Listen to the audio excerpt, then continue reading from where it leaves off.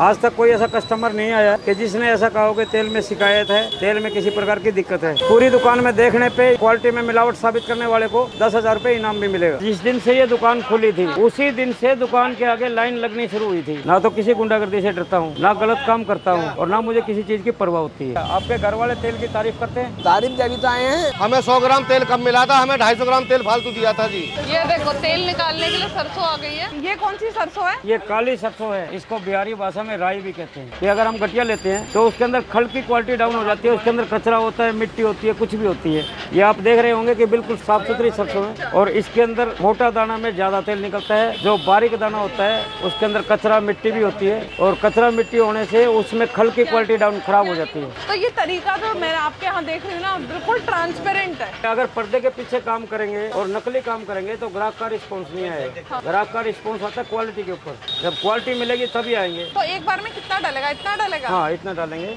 ये सरसों जो है ना सरसों इसका मॉइस्चर देखा जाता है। अगर ज़्यादा सूखी है तो थोड़ा पानी ज़्यादा डाला जाता है। अगर गीली है तो इसके अंदर सूखी सरसों मिला के इसका तालमेल बनाया जाता है। ये क्या लगा हुआ है इसमें? स्पीकर के टंगा हुआ है। इसके अंदर मैग्नेट है। इसके अंदर कोई गलती से लोहे का कोई टुकड़ा आ जाता है तो ये खींच लेता है अपनी तरफ़। अब इसके अंदर मशीन के अंदर सरसों जाएगी। डायरेक्ट इसलिए नहीं जाती इधर मेल्ट हो जाती है। नमी वगैरह जैसे पानी डाला है तो वो सभी दानों को लग जाएगा। मशीन काम कैसे कर है? जैसे वहाँ से सरसों का तेल गिर गया। अब इसके अंदर सरसों चली गई है और बारिश का कैबिन है चैम्बर बोलते हैं जिसको। हाँ। ये इसी के अंदर वो घूमता है और इसके अंदर ये पत्तियाँ लगी हुई है। उसके अंदर से तेल गिर रहा है। यही है इसका चैम्बर जिसके अंदर सरसों से तेल निकलता है। उसमें जाके सरसों फंस जाती है दबाव पड़ता है। इससे नीचे तेल आ रहा है इसमें टैंक में। ये क्या है? जो निकल रहा है पापड़ जैसा? अंग्रेज़ी में बोलते हैं मस्टर्ड ऑयल केक और हिंदी में बोलते हैं सरसों की खली। ये पशुओं का खाने के काम आता है। लेडीज़ वगैरह बालों में भी लगाती है। इससे बाल स्मूथ बनते हैं चीकने बनते हैं काले होते हैं। ये अभी क्या डाल रहे हैं इसमें? ये खल डाल रहे हैं। ये दूसरी बार डल रही है खल नहीं पहली बार ही डल रही है। ये खल को तोड़ देता है टुकड़ों में। हाँ बारीक कर देता है। और अगर वैसे डायरेक्ट जाएगा बिल्कुल लंबा लंबा तो नहीं होगा। नहीं तो उधर उसको दबाने में थोड़ा ज़ोर ज़्यादा लगेगा। असली की पहचान ये है कि थोड़ा थोड़ा ही आए। अगर मोटा भर के आ रहा है तो इसके अंदर क्या है? मिलावटी वाला तेल इसमें डाला जा रहा है टैंक में। ये पाइप जो है पंप से कनेक्टेड है और ये तेल इसके अंदर आता है। इसके अंदर जो ये कपड़े जैसे आप देख रहे हो ये इस कपड़े के अंदर से प्रेशर से फ़िल्टर हो जाता है। फ़िल्टर होकर फिर ये टूंटियों में आ जाता है।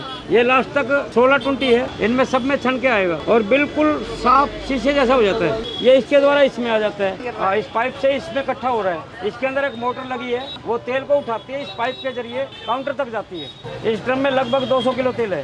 क्या आपको विश्वास है कि 100 परसेंट तेल ही मिलता है? हाँ 100 परसेंट तेल ही मिलता है। कितने साल से आ रहे हो? पाँच साल से। क्वालिटी से पूरी तरह संतुष्ट है। हाँ। दूसरे आदमियों को आपने बताया कि बढ़िया तेल यहाँ बढ़िया तेल खोड़ा से आए हम यहाँ से। अच्छा। आपके घर वाले तेल की तारीफ़ करते हैं? तारीफ़ तो आए हैं। ठीक। तो आपको बाज़ार से ये सस्ता लगता है या महँगा लगता है? सस्ता लगता है। तेल सर हम लोग बीस बत्तीस साल से मैं किराएदार हूँ बहुत सालों से खा रहे थे। तो जब हमारे यहीं पास में कोलू चल रहा है तो हम ये तेल क्यों खाएँ? तेल की क्वालिटी बहुत नंबर वन है जी।